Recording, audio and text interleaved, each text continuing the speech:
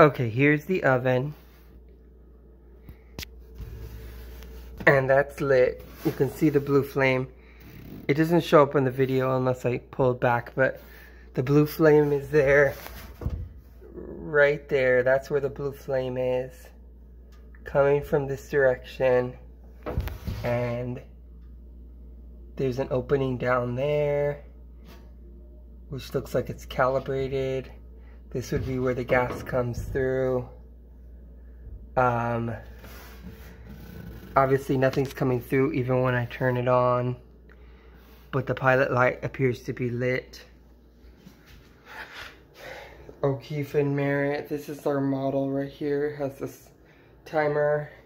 I think I have it on the M right now.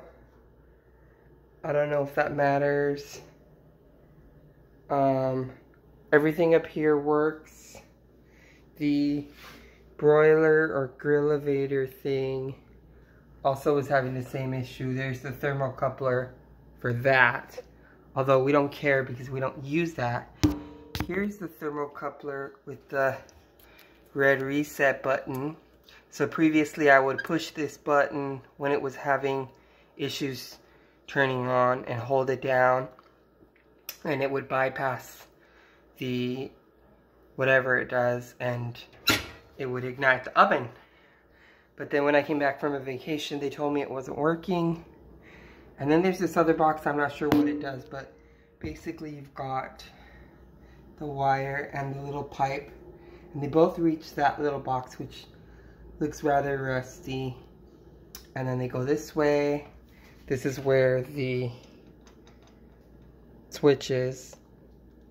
And so the wire also travels there and the pipe.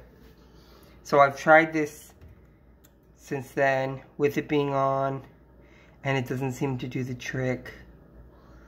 And so that's my issue right there.